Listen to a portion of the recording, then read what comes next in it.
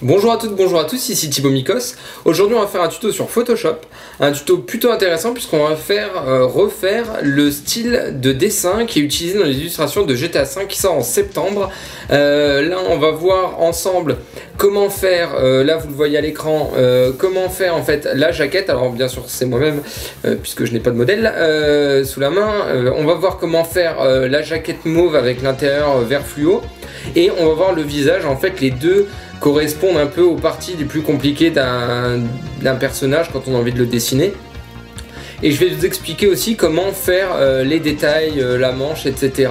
Et on va analyser ensemble comment les gens, les graphistes qui bossent euh, chez Rockstar, en fait, créent leurs illustrations et on va essayer de se coller au plus proche pour réussir donc l'illustration que vous voyez ici à droite.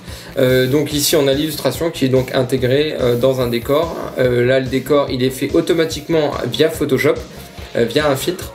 que l'on va voir également. Alors ce filtre là il est souvent utilisé dans les tutos sur internet mais en fait il n'est pas assez paramétrable pour pouvoir avoir un résultat vraiment intéressant sur lequel retravailler etc. donc je l'utilise là pour le fond, je vais vous montrer comment faire si vous voulez l'utiliser pour vos propres visages, pulls etc. Tant mieux. Comme ça, vous aurez les deux techniques. Là, dans ce tuto, euh, comme c'est écrit dans la description, on ne va que faire la jaquette et le visage, puisqu'en fait, la paume de la main, euh, c'est la même technique que le visage, les mêmes couleurs, etc. Et euh, quant au pantalon, chaussures et t-shirt, c'est vraiment la même technique qui est utilisée sur la jaquette. Vous allez voir, c'est une technique assez simple. voilà. dernière chose avant de partir, euh, moi, je travaille sur une tablette Wacom, une Intuos euh, de génération 4, euh, si je ne m'abuse. Oui, c'est ça.